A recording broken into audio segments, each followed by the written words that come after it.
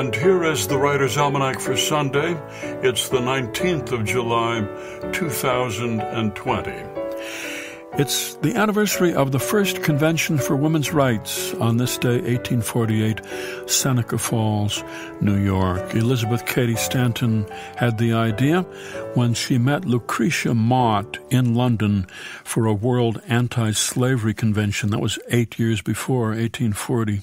They got to the convention in London and found that they, as women, would not be seated and they could only attend behind a drapery partition because women were considered unfit for public meetings. Lucretia Mott and Elizabeth Cady Stanton were outraged, decided to organize their own convention. It took them time. Stanton was running a household, raising her kids, the first three of which were boys. She lived in Boston. Lucretia Mott was busy in Philadelphia as a Quaker minister.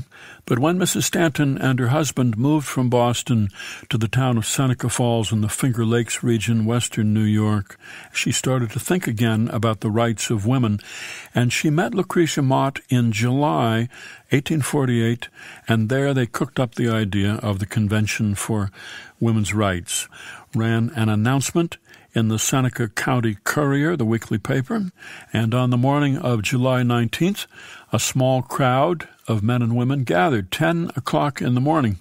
Five of the organizers had gathered three days before to draft a declaration of sentiments, a list of 11 resolutions calling for religious, economical, and political equality. There was some controversy about the ninth of those 11 resolutions, which called for women to be given the vote. Lucretia Mott thought it went too far. But there was a good crowd there 300 people, 40 of them men, sat in 90 degree heat. The resolutions passed, including the one calling for the right to vote. Reaction in the press was mostly negative. A newspaper in Philadelphia said, A woman is nobody, a wife is everything. Later in her life, Elizabeth Cady Stanton wrote in her diary, We are sowing winter wheat, which the coming spring will see sprout, and which other hands than ours will reap and enjoy. And it would be 72 years before women would get the right to vote. Only one of the women who signed the Declaration of Sentiments was still living in 1920, Charlotte Woodward, and she was too old and too ill to cast her ballot. Here's a poem for today by Naomi Shihab Nye entitled Wedding Cake. Once on a plane, a woman asked me to hold her baby and disappeared. I figured it was safe, our being on a plane and all. How far could she go?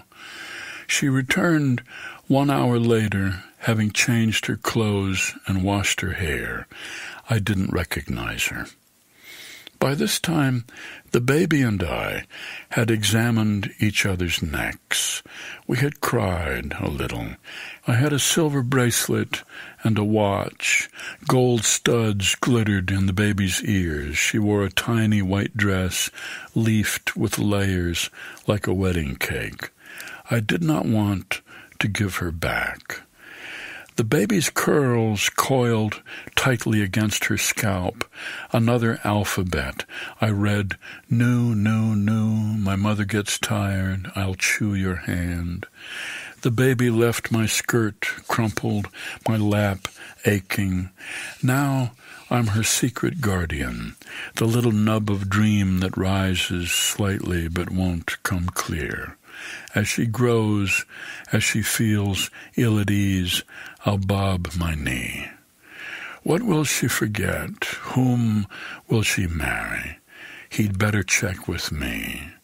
I'll say, once she flew, dressed like a cake, between two doilies of cloud. She could slip the card into a pocket, pull it out. Already she knew the small finger was funnier than the whole arm. A poem by Naomi Shihab Nye, Wedding Cake, from her collection Fuel. That's the Writer's Almanac for Sunday, the 19th of July. Be well, do good work, and keep in touch.